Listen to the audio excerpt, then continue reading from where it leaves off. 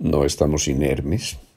No podemos hablar en este momento de ministerios de guerra, por ejemplo, y de armas contra el virus, que sí tenemos necesidad de buscarlo, pero no solo esto.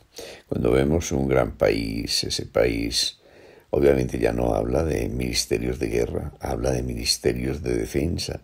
Y si nosotros, en lugar de hablar de la guerra y ver al virus como un invasor, pensáramos en lo que ha ocurrido con nuestras defensas a todos los niveles, nuestras defensas, obviamente en el plano físico, en el plano celular de las membranas y las mitocondrias, nuestras defensas, claro está, hablando de las distintas facetas del sistema inmunológico, pero también nuestras defensas en el plano de la persona, de la personalidad, del manejo de nuestras emociones, del manejo de nuestros pensamientos, de la economía, de nuestra vida. Ahora están en quiebra nuestras defensas, colectivamente hablando, están en quiebra, está en quiebra nuestra economía. Es decir, que tenemos que pensar cómo fortalecemos los cimientos y todo esto tiene que ver con el manejo de la energía porque somos energía. El virus es un paquete de información que mueve la energía a nivel celular.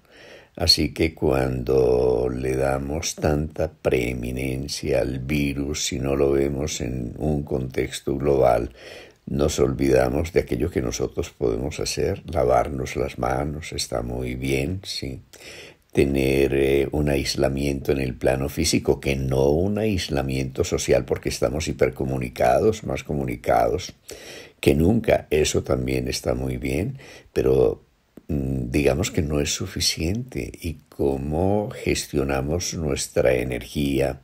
¿Cómo gestionamos nuestro tiempo? ¿Cómo gestionamos nuestras relaciones humanas, aunque sea a través de, de la red? Cómo gestionamos, si esto es clave, es muy importante nuestra alimentación. Eh, casi que en este momento conocemos más acerca del virus, inclusive las proteínas a nivel tridimensionalmente, que está muy bien, pero no es suficiente. Y nos preguntamos, ¿y conocemos de nuestras células? y conocemos bien de las membranas celulares y conocemos de algo que habíamos olvidado, nuestra mitocondria. Nosotros somos energía y esa energía es producida en la mitocondria. El ADN mitocondrial es mucho más frágil y más sensible que el ADN del núcleo celular. ¿Cómo protegemos el ADN mitocondrial, por ejemplo, para que podamos producir energía? Sabemos que en última instancia eh, la respiración tiene como objetivo el almacenamiento, almacenamiento de electrones y ese almacenamiento de electrones se hace a nivel de enlaces de alta energía como el ATP. Producimos ATP, si tenemos una suficiente producción de ATP vamos a tener energía para alimentar todos los mecanismos de defensa, primero a nivel celular y obviamente al nivel del sistema inmune que cuando es exigido cuando hay procesos inflamatorios o oxidativos, puede aumentar su consumo de energía de una manera enorme, hasta el 300%, por ejemplo.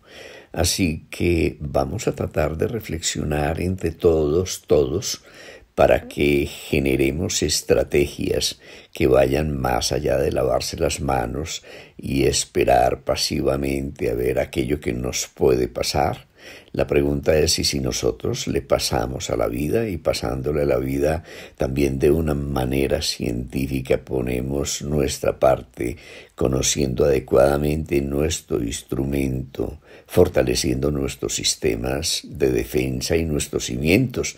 Si nosotros lo vemos claramente, es la gente más debilitada, debilitada tal vez por la edad, pero no nos demandemos la edad porque también hay gente joven que se muere, ¿no? Nos podemos preguntar, bueno, y no solo cuál es la patología o las enfermedades como la diabetes, como la hipertensión, por ejemplo, como los problemas respiratorios inmunes previos que nos puede hacer más frágil. ¿Y cuál es el común denominador de estas cosas? ¿Cómo lo podemos abordar?